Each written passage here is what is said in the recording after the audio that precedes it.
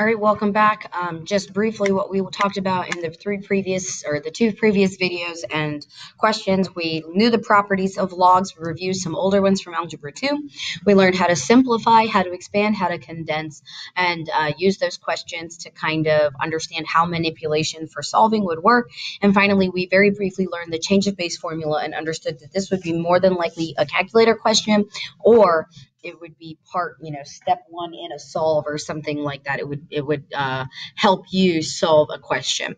But let's use those things to understand how we actually solve exponential and logarithmic equations. How do I actually solve these types of questions? Again, this has shown up in every screen. This is just to remind you, hey, you should know this. You should be like sassy cat in the corner. You should already know these th these things um, from algebra two or from under recognizing it from our stuff today. So what we're going to work on in this video is we're going to learn how to solve using uh, one-to-one uh, -one properties right here, and we're going to solve using our simplification and properties um, from before. And then in our final video, we're going to understand the quadratic form and what happens when you have extraneous solutions. So here's my very first one. Uh, we are going to solve 36 to the x plus 1 is equal to 6 to the x plus 1. And so what is a 1 to 1? It's where your bases match and you end up with one thing with the same base is equivalent to one thing with the same base. You've condensed it down on both sides. Well, we're really close. We have a 1 to 1, but they're not the same base.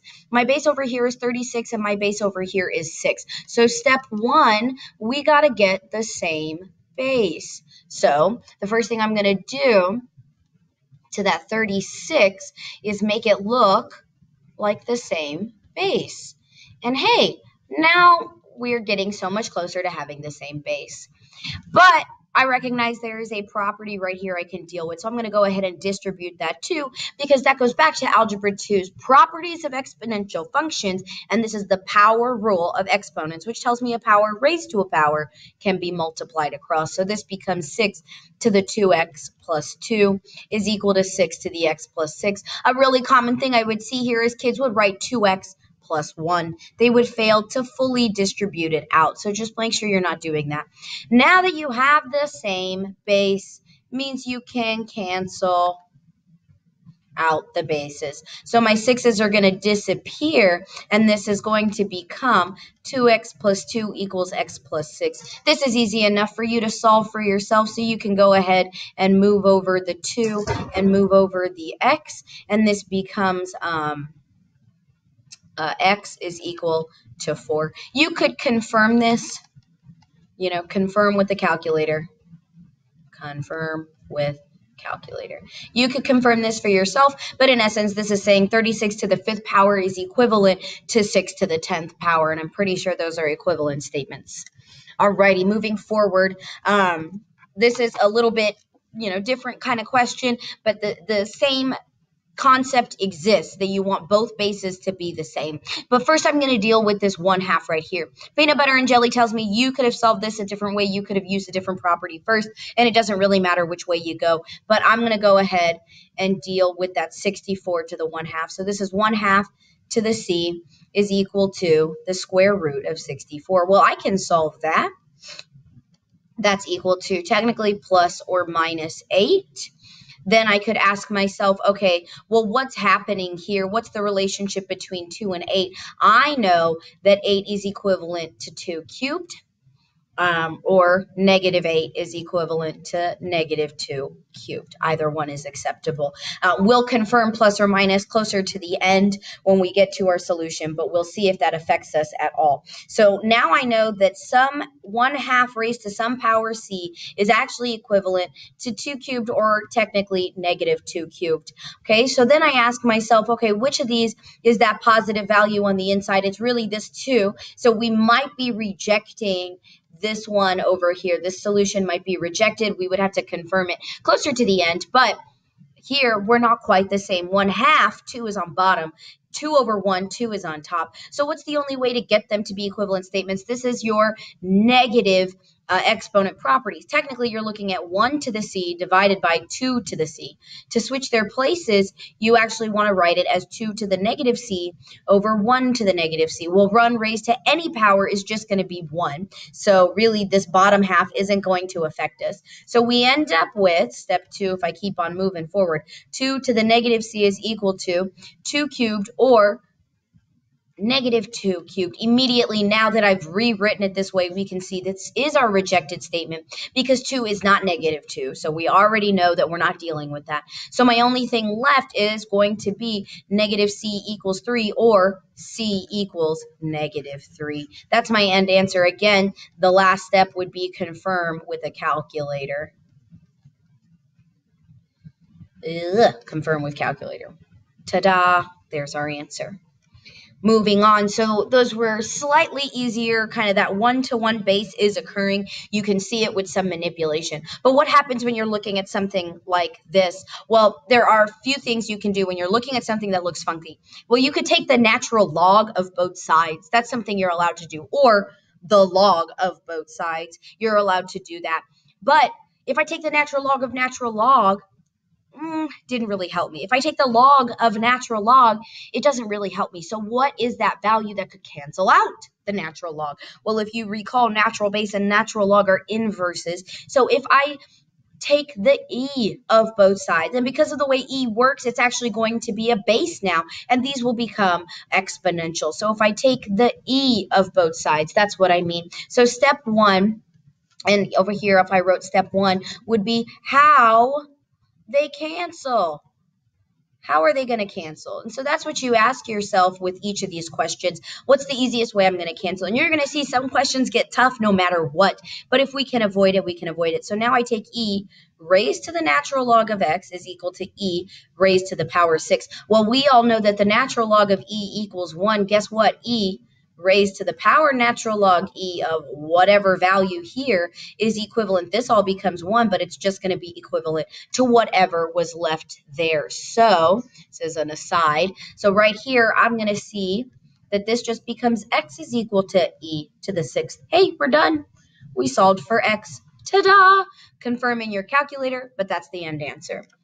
All right, look at this one hey, we got some funkiness. We don't have logs on both sides, so either we could do that, but if I take the log of the right hand side, oh wait, I got to take the log of the left hand side. So not really going to help us, at least not yet. We may do it eventually, but we'll see. So first and foremost, let's just get that log by itself because that's where the x is. So if I can get log isolated, I might be able to get the x isolated. So step one, how they cancel. In this instance, nothing can cancel yet. So step two, can I isolate? Okay, so let's isolate. Let's move that 6 over and divide by R2. So let me change my color. And we're going to move the 6. And then we're going to divide by 2. So this is end up being, uh, let's put our color back. This is going to end up being uh, log of 5x is equal to 18 minus 6 was 12, and 12 divided by 2 was 6. Cool. Now, step 2. Okay, so, or really we couldn't do step one, we couldn't cancel, so we moved on to step three, and here's step, uh, step two, and here's step three. How do I, or going back to step one, how do I cancel out a log? Well, if the natural log could be re removed by taking the e of both sides, that's taking its base, then what's the base of log? If you said 10, you're correct. So I'm going to take the 10 on each side. So this becomes 10 raised to the log of 5x is equal to 10 raised to the sixth power. These all cancels out.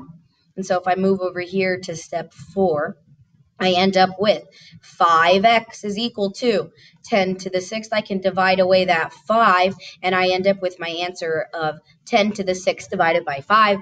If I actually did the multiplication, this ends up, I think, uh, 200,000, might be 20,000. Nope, I think it's 200,000 if we consider the number of zeros we got going on here. So you end up with um, uh, 1 million, and then you divide by 5, and you end up with 200,000. Ta-da! And you can confirm this with a calculator.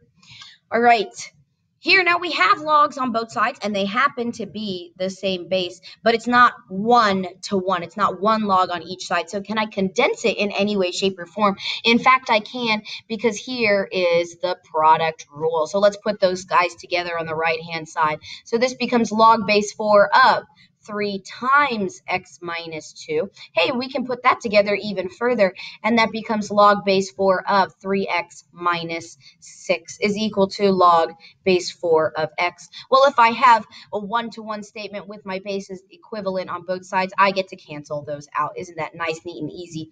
And I end up with x is equal to 3x minus 6 deal with that negative 3x, and I end up with negative 2x equals negative 6, which becomes x uh, equals positive 3. And you can confirm that with a calculator. In fact, I'm going to confirm, yep, that is the same answer I got the first time I did this. All right, moving forward. Here, we have a one-to-one -one already occurring. Look at this. We've already got one base, one base, and nothing else on each side. So I get to already begin by canceling out, and I end up with x cubed, or x squared plus 3 equals 52 if I keep on solving that out, I actually end up with plus or minus 7. This slide is in here to teach you the most important thing to verify because as we move on to our final video, we're going to understand something called extraneous solutions. And those extraneous solutions have to be tested because you might reject an answer. Hey, didn't we kind of do that in a previous slide? So let's confirm that both 7 and negative 7 would be appropriate. Well, if I look at what I've got going on, wouldn't it just be smart to test this value right here because I can't take the log of a negative number or I can't take the log of 0. Those are undefined equations. So x squared plus 3 must be positive or non-negative, however. Well, no, just positive because it can't be 0. So we end up with 7 squared plus 3 and negative 7 squared plus 3. And these both equal positive 52. So guess what your answer is? x equals 7 or negative 7. So in this particular instance, they are the same. If our question had been somehow x cubed, 7 cubed is a positive value, but negative 7 cubed is a negative value. And it very likely could have knocked you into the, the, the, the half of the graph that doesn't exist because if you recall the parent function of logarithmic functions, they do not exist. The range cannot exist from negative infinity to zero. The range only occurs, sorry, I said range, the domain, right? Your left hand side of the graph, the domain. The domain does not occur from negative infinity to zero. It only occurs from approaching zero to approaching positive infinity. All right. Uh, just a couple more questions to get us through 7, 8, and 9. So what do I do? Here's another funky question. I really can't do anything to this. I could convert, just like we did with the maze, go from exponents to logs or vice versa. Or I could take the natural log of both sides. Well, no matter which version you do, you're going to end up taking the log of both sides. So make sure that you accomplish that. So I'm actually going to do both solves. So let's say I convert, or let's say I take the natural log of both sides, and those are the two different versions that I'm going to, ah, those are the two different versions that I'm going to use right here. And so if I convert, this becomes log base 4 of 13 equals x. I can use the change of base formula to solve this out, and I end up with x is equal to the log of 13 divided by the log of 4. This can also be written as the log of 13 divided by 2 log of 4 if you convert. If I take the natural log of both sides, then I end up with this. This x can be dragged forward because we know that property.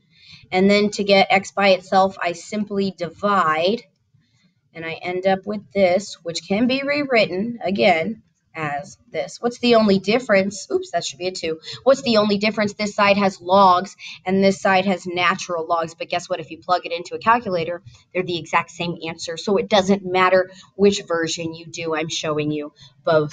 The second to last question we got on this problem set, again, it looks scary. There's not much you can do except you can take the natural log of both sides. And that's going to be uh, this is equal to this.